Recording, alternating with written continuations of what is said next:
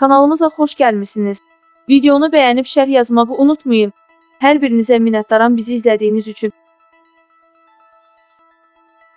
Bakıda daha 2 sinif koronavirusa yoluxma səbəbindən distant təhsilə keçib. Bir Azapaya istinadən xəbər verir ki, Ankara Məktəbi Məktəb Liseyinin 7 və 7 siniflərində bir neçə şagirdə virusa yoluxma aşkarlandığı üçün sinif distant təhsilə keçib. Məsələ ilə bağlı Təhsil Nazirliyindən bildirilib ki, hər hansı sinifdə yoluxma aşkarlandığı təqdirdə həmin sinif 14 günlük distant təhsilə keçib. 14 günlük karantin müddəti bitdikdə isə sinif yenidən ənənəvi dərslərə davam edir.